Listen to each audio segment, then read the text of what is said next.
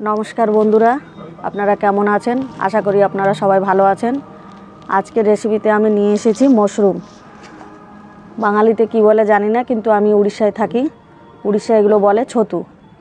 আর ইংলিশে তো মশরুম বলে, বাঙালিতে কি বলে আমি জানি না। তো আপনারা কি বলেন বাঙালিতে কমেন্টের মাধ্যমে জানাবেন। তো আজকে আমি নিয়ে এসেছি পাহাড়ি ছতু বা পাহাড়ি মশরুম এগুলো পাহাড়ি এলাকায় ফোটে। দেখুন।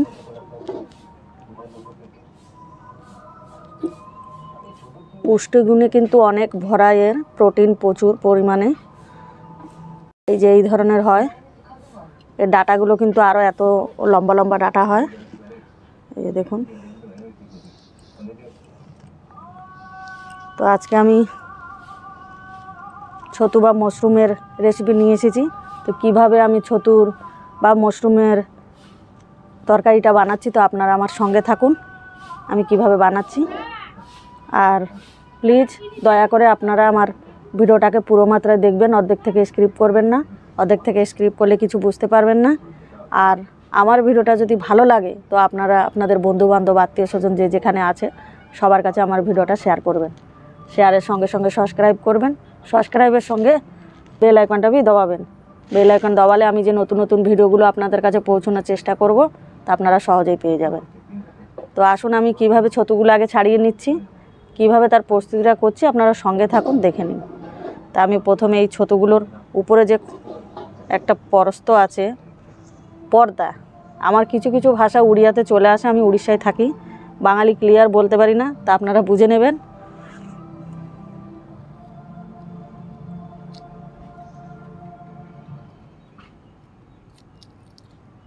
এই যে দেখুন আমি, এইভাবে টানলে এই যে একটা পর্দার মতন উঠে আসছে।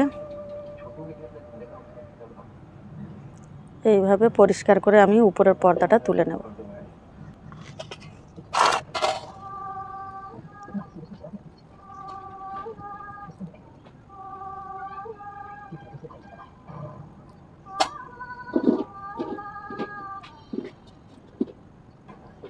এই যে দেখুন, আমি পরিষ্কার করে তুলে নিচ্ছি।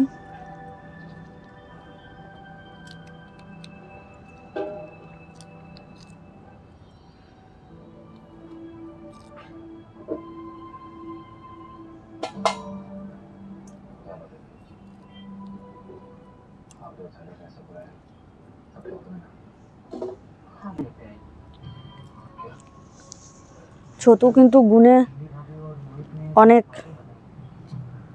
গুণে তার ভারী, আর খেতেও কিন্তু দারুণ লাগে। যে যে খেয়েছেন সে তো জানেনই নিহাতি, আর যারা খাননি, তারা একবার এভাবে রান্না করুন, খেয়ে দেখুন, অসাধারণ লাগবে, আর পুষ্টিগুণে কিন্তু ভরা। তো আমি এভাবে সবগুলো মশরুমগুলো ছাড়িয়ে নেব পরিষ্কার করে। তো আমি এগুলো সবগুলো ছাড়িয়ে নিয়ে ফিরছি। তারপরে কি হবে দেখাচ্ছি। ছাড়ানোর পরে একে কি করার দরকার। তো আমি ছাড়িয়ে নিয়ে ফিরছি। মশরুমগুলো সব ছাড়িয়ে নিয়েছি। এই যে ওর ডাটাগুলো দেখুন। দেখুন, ওর যে ডাটাগুলো উড়িয়াতে বলে নাড়ো। তো আমি সেই নাড়োগুলো সব ছাড়িয়ে নিয়েছি। এই যে দেখুন। এই যে কতগুলো ময়লা বেরিয়েছে। আমি পরিষ্কার করে নিয়েছি। আমি এখানে মশরুমটাকে হলদির জলে রাখব। আমি এখানে দিয়ে দিচ্ছি হলুদ। আমি হলুদের জলে আমার মশরুমটাকে আমি ভিজিয়ে রাখব। কেননা এটা ফোটা ছতু। যদি এর ভিতরে আমি তো বেছে বেছে নিয়েছি, তথাপি যদি কোনো রকম পোকামাকড় থাকে তো হলুদ জলে তার এটা মরে যাবে। কিন্তু এইভাবেই ছতুটাকে রাখা হয় বা মশরুমটাকে রাখা হয় হলুদ জলে। আমি আধা ঘণ্টার মতন ভিজিয়ে রাখছি। তার ভিতরে আমার মশলাটা আমি বেটে আনব। বেশি কিছু মশলা নেইনি। ঘরে যে রান্নাঘরে যে যে মশলা নেওয়া হয়, সিম্পল রান্নার ভিতরে, এখানে নিয়েছি আমি জিরে, আদা, রসুন আর শুকনো লঙ্কা। তা মশরুমটা আমার হলুদ জলে ভিজতে ভিজতে আমি মশলাটা বেটে নেব। আমি মশলাগুলো বেটে নিচ্ছি। আদা, রসুনটা বেটে নিয়েছি ফটাফট। এখন জিরেটা বাড়ছি।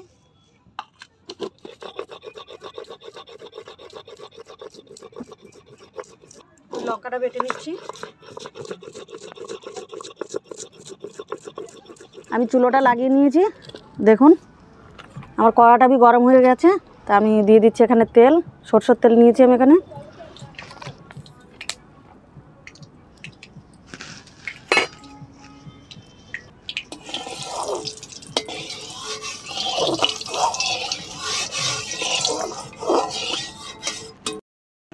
আমি কড়াতে তেলটা দিয়ে দিয়েছি, আমার তেলটা গরম হয়ে গেছে, আমি দিয়ে দিচ্ছি এখানে জিরে।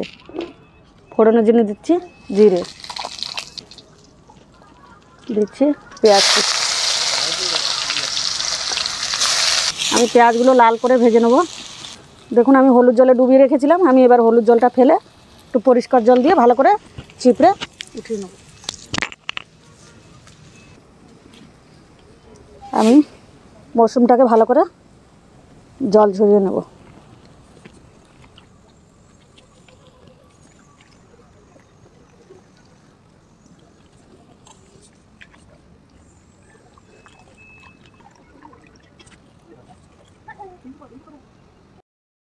দেখুন, আমি পেঁয়াজটা ভেজে নিয়েছি। এবার আমি মশলাগুলো দেব।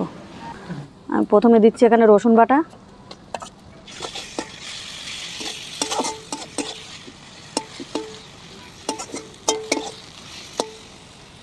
দিচ্ছি আদা বাটা।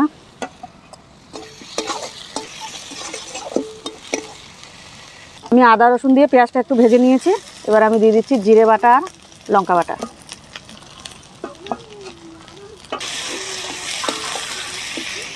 এবার আমি একটু জল দিয়ে মশলাটাকে ভালো করে কষে নেব। আমি অল্প করে একটু জল দিয়েছি মশলাটা কষানোর জন্য। দিচ্ছি আমি এখানে একটা টমেটো কুচি।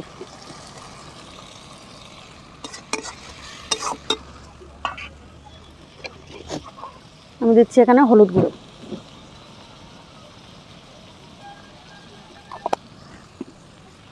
দিচ্ছি লবণ। আমি এবার মশলাটাকে ভালো করে কষে নেব।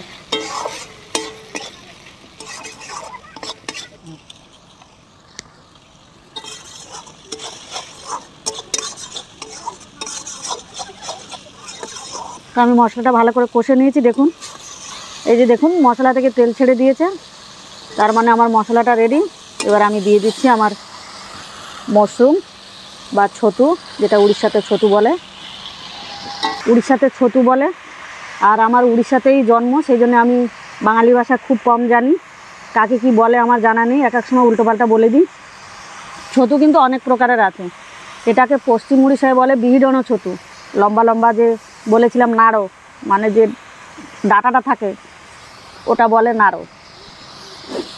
আর একগুলো আছে বালি ছতু, খুদি ছতু, যেগুলো উইর যে ঢিপ হয়, ঢিপের ভিতরে হয় ছোট ছোট, সেগুলোকে বলে খুদি ছতু। আর এই বর্ষার দিনে বিলে বালিতে হয়, ওগুলোকে বলে বালি ছতু।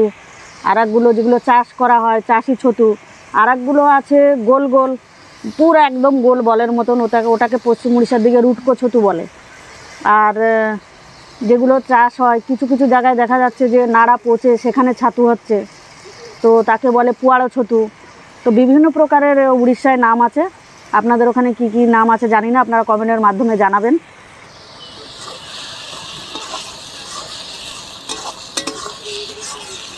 আর এই ছতুটার যে কড়িটা মেলে, কড়িটার দাম কিন্তু বেশি থাকে, ফোটাটার দাম একটু কম থাকে। তো উড়িষ্যায় যে উড়িয়া লোকেরা আছে, পশ্চিম উড়িষ্যার দিকে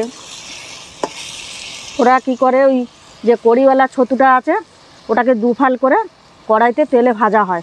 ভাজার পরে ওই ছতুটাকে লঙ্কা, রসুন দিয়ে ভালো করে মেখে তারপরে ওই ছতুটা লাগিয়ে লাগিয়ে পান্তা ভাতের সঙ্গে খায়। উড়িষ্যায় প্রসিদ্ধ সবাই পান্তা ভাত খায়। পান্তা ভাত ফেমাস তো ওরা ছতুর সঙ্গে পান্তা ভাতটা খেতে ভালোবাসে। তা আপনারাও যদি কখনো পাচ্ছেন এই ছতুটা, যে এই যে বিহিডনো, এটাকে বলে বিহিডনো ছতু। যদি কোনো দিন পাচ্ছেন এই ছতুটাকে, তো ওভাবে একবার উড়িষ্যার মতন খেয়ে দেখুন। ভালো লাগে খেতে।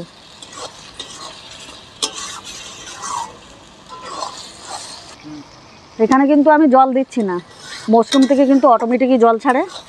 এই যে দেখুন, আমি টোটাল এখানে জল দিচ্ছি না। মশরুমের যে জলটা বেরোবে, আমি সেই জল দিয়েই রান্না করব। এটা তো এটা আপনারা রুটি, ভাত, পরোটা, যার সঙ্গেই খান না কেন, ভালো লাগবে। দেখুন, পুরো মশরুমের কালারটা দেখুন, কত সুন্দর কালার এসেছে।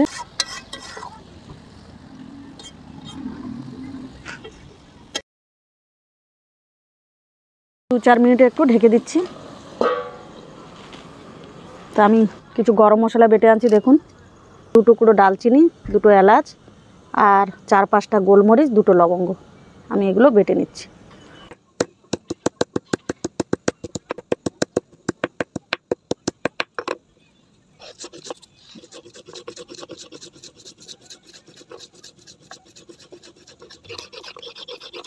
আমি এবার ঢাকনাটা উঠিয়ে দিয়েছি। প্রায় হয়ে এসছে। দেখুন, প্রায় হয়ে এসছে। এবার আমি গরম মশলাটা দিয়ে দেবো। আমি যে গরম মশলাটা বেটে নিয়েছিলাম, আমি খুন্তিতে উঠিয়ে নিয়েছি, আমি দিয়ে দিচ্ছি আমার মশরুমে।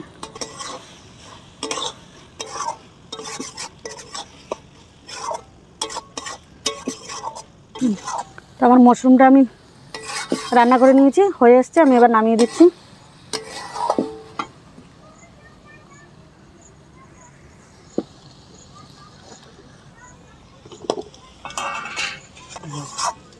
বেশি সময় কিন্তু লাগে না মশরুম রান্না করতে।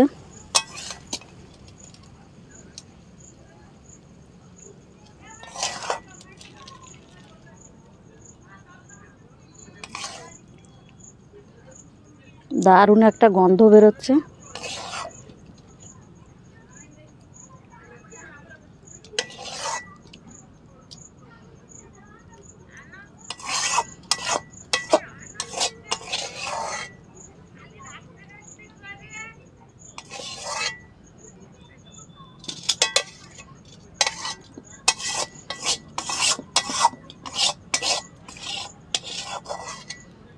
তা আমার মাশরুম বা যেটা উড়িষ্যায় বলে ছতু আমি রান্না করে নিয়েছি। আপনাদের কাছে কেমন লাগল আপনারা কমেন্টের মাধ্যমে জানাবেন। আর আমার রেসিপিটা শুরু থেকে শেষ পর্যন্ত দেখার জন্য ধন্যবাদ। ততক্ষণ আপনারা সুস্থ থাকুন, ভালো থাকুন। আর কে কে খেতে চান, জলদি জলদি চলে আসুন। তো আমি অল্প একটু টেস্ট করে দেখব কেমন হয়েছে। টেস্ট তো হবেই, কেননা ছতুটাই সেই টাইপের। অসাধারণ টেস্ট। গরম আছে এখনও দারুণ, একদম দারুণ। আপনারা যদি মটনও সামনে থাকে, তো মটন থুই আগে এটা খাবেন। সত্যি, একদম সত্যি। আপনারা কিছু বলছেন না, যদি এই রকমের ছতু আপনারা পাচ্ছেন, তো এভাবে বানিয়ে খেয়ে দেখুন। সত্যি অসাধারণ। আমার তো মনে করছে আমি কাউকে না দিই, একাই খেয়ে দিই সব কিছু